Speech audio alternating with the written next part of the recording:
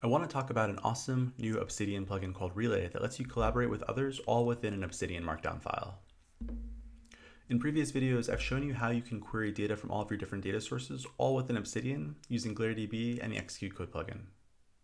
In this video, I'm going to show you how you can also do this in collaboration with other people within Obsidian using Relay. So let's just dive right in and see what's possible. So here we have my Obsidian Vault right over here. And within my vault, I've set up a relay using the relay plugin, which is basically just a connection which exposes some directories that I can then share with a colleague.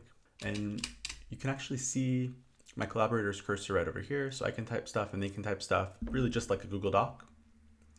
And you can see next to this directory, we have our, uh, this, this little symbol means that this is part of our relay. relay we have relay demo connected. Um, I also have this other relay over here, which is different. Um, it's a different one set up. This is called my relay. Uh, and this is set up to share with a different group of people. And now imagine I want to write some SQL, um, and maybe I want to do this in collaboration with somebody. So I'm going to use the execute code plugin. I'll use this run Python block, and I'll import GlareDB and set up my GlareDB connection. And then I'm going to start to write my SQL statement and save the select statement to a data frame. So I'll do uh, df equals con.sql, and then let me start to write my select statement. Select star from. The trouble is I don't remember where the data are located that I want to select from. And so I know that I have a Parquet file on GitHub somewhere, but I don't remember where the URL is. And so I'm just going to drop an ellipsis here right now. Um, I'm also going to finish writing the statement. So I'm going to output whatever this is to pandas, and then I'm going to print my data frame. And now my, my buddy can go and just drop the URL, if they know it, directly into this code block. So let's do that.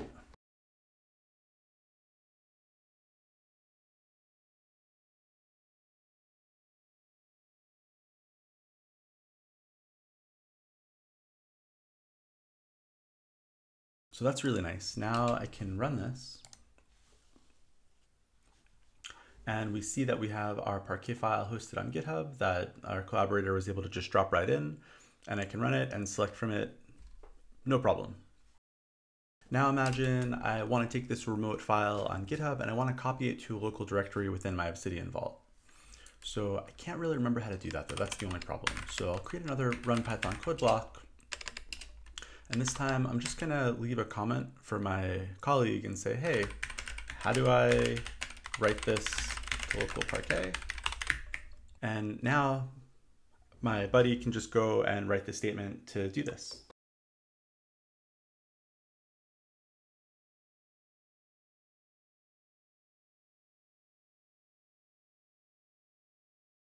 So that's that's really nice. They've written out this statement. I see now it's just a copy to statement. So you can take your SQL select statement from above and just pass it into this copy to. And now I can just run this and I see I have to make some changes. So it's it's great that we're able to go back and forth here. And I see that it, this is missing uh, closing uh, single quote.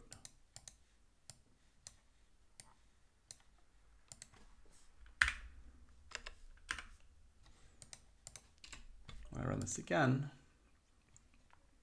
I have my my data.parquet file. We've copied our data from the remote URL, uh, remote GitHub URL, and pasted it in locally. Installing the Relay plugin is just like installing most other plugins that are within the Obsidian plugin catalog.